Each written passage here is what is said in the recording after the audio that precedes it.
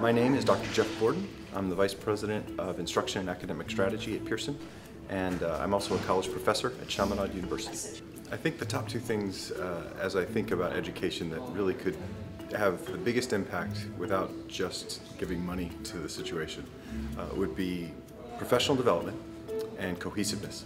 As I think about professional development, most K through 12 teachers have only had one or two methods courses. Uh, how to teach how to teach in certain contexts, how to teach in certain ways, how to teach creativity, how to teach critical thinking. They really only get two courses at max about how to do those things. Most higher education professors have never had a course in how to teach uh, unless their particular institution has a training or something like that.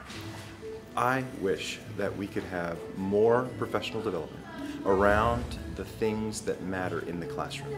There are really no research uh, projects out there that I've seen, no studies that I've seen, that suggest that anything is more valuable than the teacher and how the teacher teaches.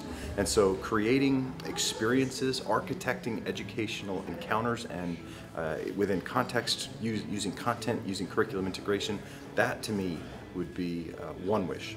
The other is cohesiveness. Uh, there is a lot of infighting, if you will, in educational circles. There's not much conversation that takes place between higher education and K through 12, for example. And so there's a lot of pointing of fingers and blaming. It should not be so hard for students to go from 12th to 13th grade. And yet we really do make it difficult.